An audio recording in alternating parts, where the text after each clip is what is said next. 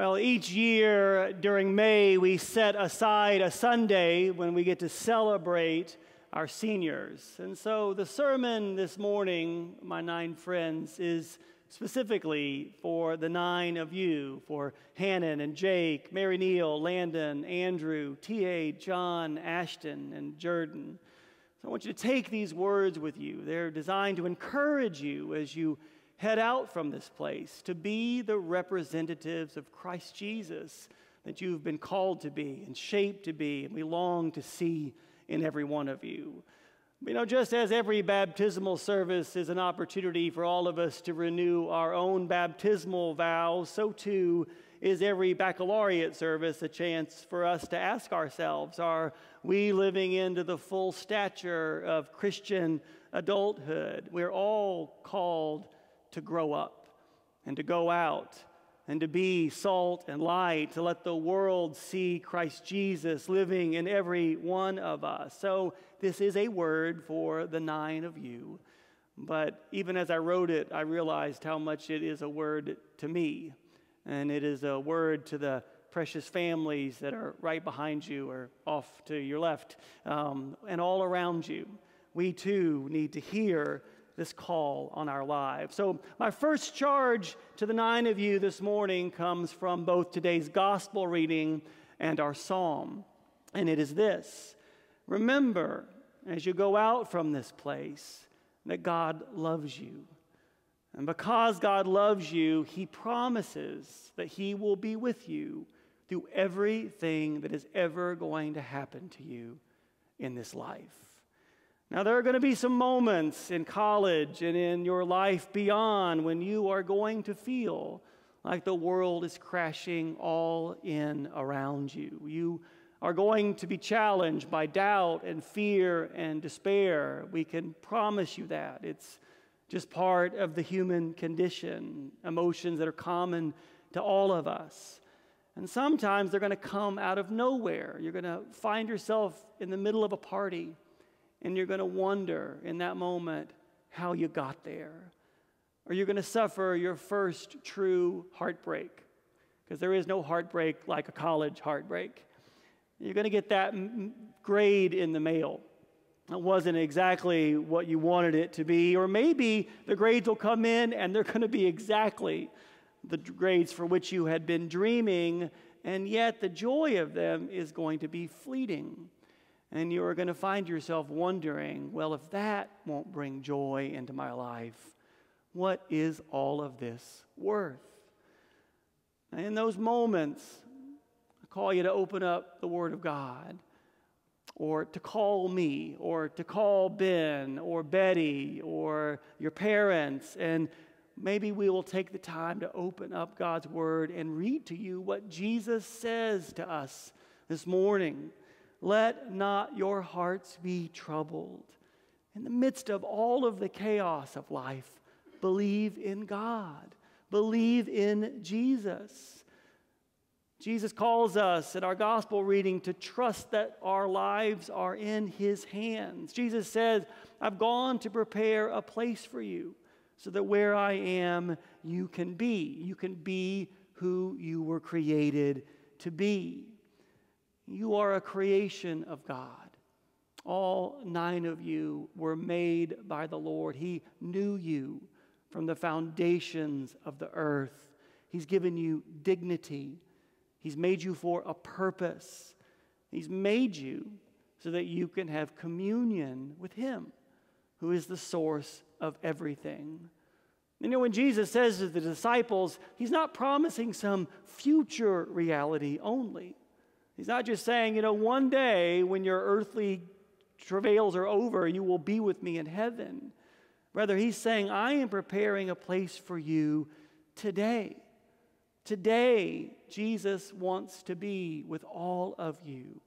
Today, he wants to show you that he is the way, that he is the truth, that he is the life. Today, he wants to empower every one of you to do not just the mundane things that anybody in this life does. He wants to empower you to do the things that He did while He was in the world. And that's what Jesus means when he says that I will do anything in my limitless power to let you live like I lived. All you have to do, Jesus says, is ask. Our psalm sings of that God of love.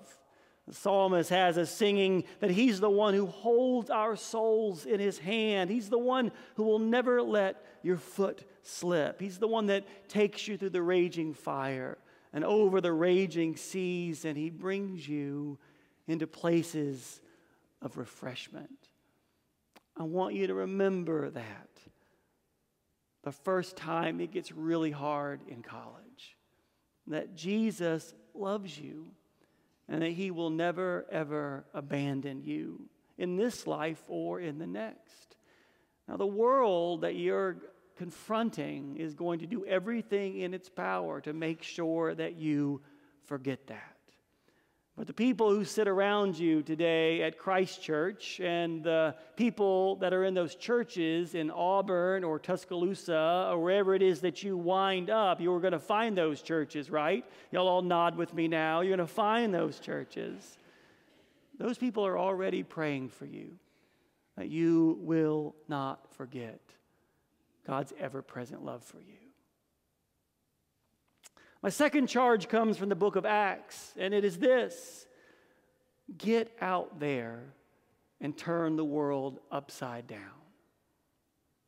Now, there are going to be moments in your life in college and beyond when you are going to wonder what exactly is this life supposed to be about? Maybe you'll take a freshman year philosophy class and it's going to leave you reeling with the deepest questions that a human being can ask. What is the meaning of life? Why is there something rather than nothing? Why, maybe specifically, do I exist? What is my purpose? Well, if you get stuck on those questions, you can go to the YouTube page and find this sermon and fast forward to this moment because I know the answer to those questions. And you know the answer to those questions. You know, the world around us can sometimes seem like it is living in chaos, but the bones of the story of creation are clear. The story of creation is the deepest tragedy and the grandest adventure and the most wonderful romance that's ever been told. But it is the only story that is truly true. God is the reason why there is something and not nothing. God created everything that there is, including you. And when creation spun off into chaos and sin and death started to have its way with God's blessed creation, he remade it at the cost of his own life. And that remaking is a story that includes the nine of you. The, uh, the disciples in the book of Acts had learned this story straight from the source. This is what Jesus had been telling them. And to make it true, he came back from the grave and revealed himself to them. And how do we find these disciples? They're utterly transformed by knowing the true story of creation, and they cannot stop telling it and retelling it. You can drag them in front of the emperor, and they're still going to be telling this story. They've been given a glimpse of the last chapter of the story of creation, and they had learned that sin does not win, that death does not win, but God wins and he was remaking the world before their very eyes. The king of the world had come, and he was on the move, and their minds had been blown by the fact that they had a part to play in his work of remaking creation. He'd called them into his kingdom, and now what do we learn that they were doing? They were turning the world upside down because the news that they were sharing is the world's greatest news. Now, all nine of you are baptized into the faith of Christ Jesus. You live the same life as those disciples. You have a chapter in the story that God is telling. You too are called to get out there and turn the world upside down for the sake of the news of Jesus. How do you do that? You will be living a life very different than your sorority sisters or your fraternity brothers or the friends that you make in school because you're the ones that love your enemies. You're the ones who pray for those who persecute you. You're the ones who choose to be last rather than first. You're the ones who are always asking about the orphan, the alien, the widow, and the oppressed. You're always asking, How can I be like Jesus was? Because he's asked me to turn the world upside down for the, for the sake of his name. And living that way is because God loves you and that he loves you enough to give you purpose. That's the meaning of life. Now, you're philosophy professor, and everything else in this world is going to try to tell you and sell you some false bill of goods about an alternative narrative, narrative to that one. They're going to tell you that greed is good. They're going to tell you that you are the all singing, all dancing center of the universe, that you are a unique snowflake. I'm here to tell you that you have a job, you have a vocation and it is to bring glory to the God who loves you and who gives you the dignity of saying he wants to use you. Now, the people around you at Christ Church are going to be praying that you never forget that. And the people in those churches in Auburn or Tuscaloosa or beyond, right? They're going to be praying for you and encouraging you and opening up God's Word with you so that you'll always know the truth that you'll know the goodness of King Jesus. My final charge comes from 1 Peter, and it is this Remember who you are. There are likely going to be moments in your life in college and beyond when you are going to fall. You are going to fall prey to the temptations of the world. You're going to believe the lies that the world tells that money, or the right career, or the right car, or the right spouse, or the right clothes, or the right Greek letters above the door, that these things are going to make you happy. They are not capable of making you happy. The only thing in this life that can bring lasting and true joy is to taste and see that God is good. Hannon, Jake, Mary Neal, Landon, Andrew, T.A., John, Ashton, Jordan. Peter tells you this morning that you are a chosen and holy people. Peter calls you a royal priesthood. I'm looking at nine priests of the gospel of God. You are his own sons and daughters, and you have been purchased at the most extravagant price.